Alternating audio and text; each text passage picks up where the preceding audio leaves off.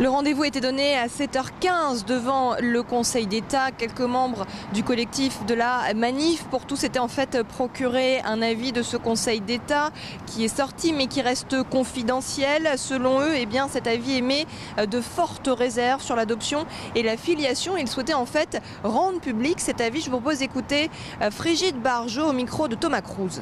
Comme là, on n'avait pas eu vraiment le moyen de s'exprimer à l'Assemblée nationale, que 110 heures de débat s'endormir, ce ne sont pas des conditions de travail pour euh, véritablement travailler sur les conséquences d'une loi qui crée une filiation nouvelle, une filiation fiction qui repose aujourd'hui sur le fait que deux enfants, euh, un enfant, pardon, un enfant sera né de deux hommes ou de deux femmes, ça sera dans son état civil, euh, ce que nous contestons. Eh bien, nous sommes allés devant le Conseil d'État car nous avons eu accès à l'avis du Conseil d'État et le Conseil d'État a déjà expliqué tout ça et a mis en garde le gouvernement qui n'en tient aucun compte.